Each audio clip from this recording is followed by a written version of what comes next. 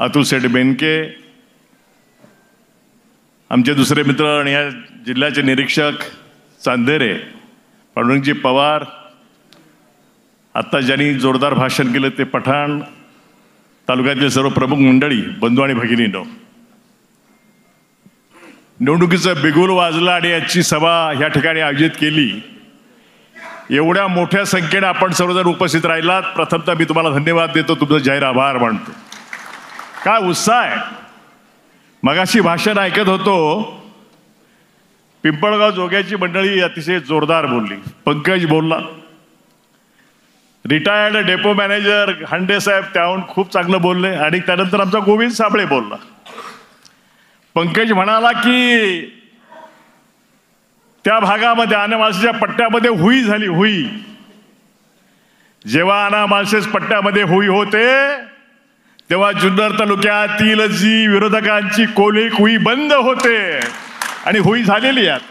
आजचं वातावरण पाहिल्यानंतर शंभर टक्के अब्दुल सेठ आजीदादाच्या बरोबर जाण्याचा निर्णय घेतला योग्य निर्णय घेतला दिलीप पाटलांच्या बरोबर जाण्याचा निर्णय योग्य घेतला.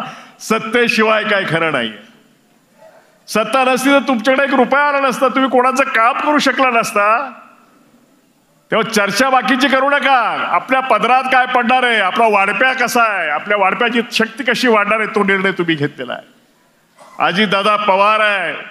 अजितदादा पवार आणि दिलीप पाटलांनी घेतलेला निर्णय अतिशय योग्य आहे. मी राजकीय खोलात जात नाही. आणि म्हणून तीन हजार पंचवार्षिक योजना तीन हजार कोटी रुपये.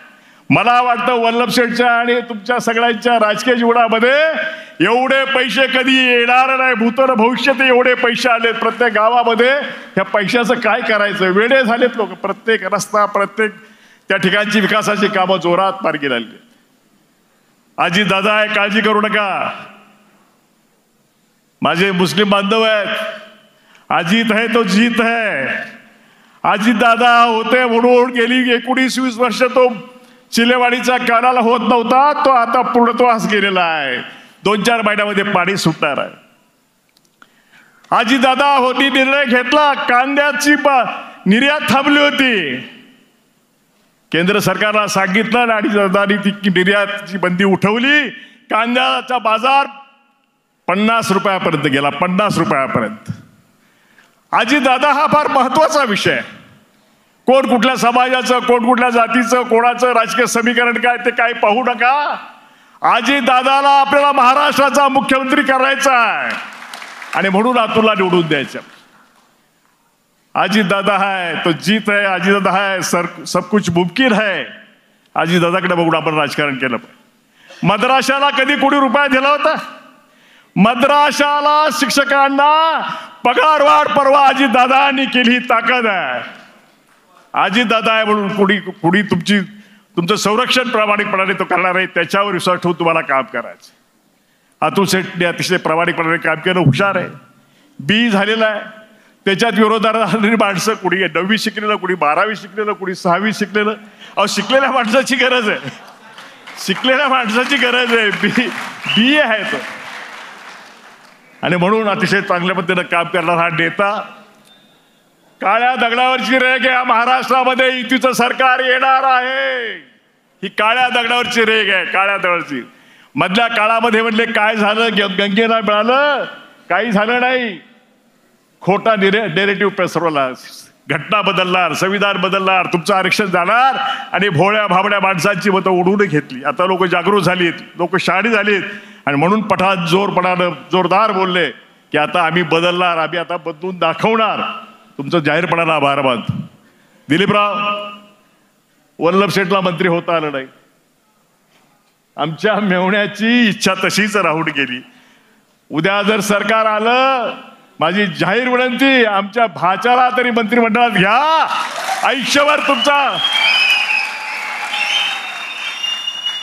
तुमचे तुम्ही केलेल्या कामाची आम्ही पावती देऊ.